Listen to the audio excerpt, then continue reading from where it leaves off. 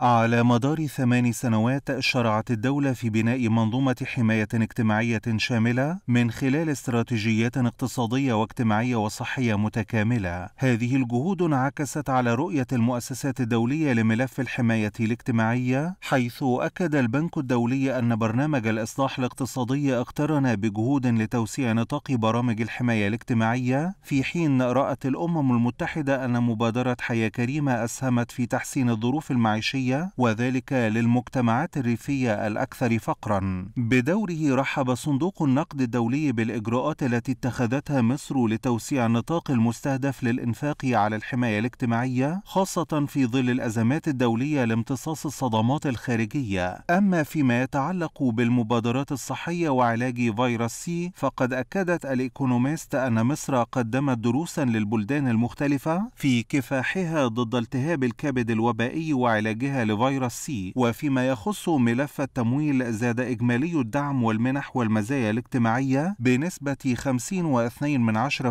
بعد أن بلغ 343.4 مليار جنيه في عام 2021-2022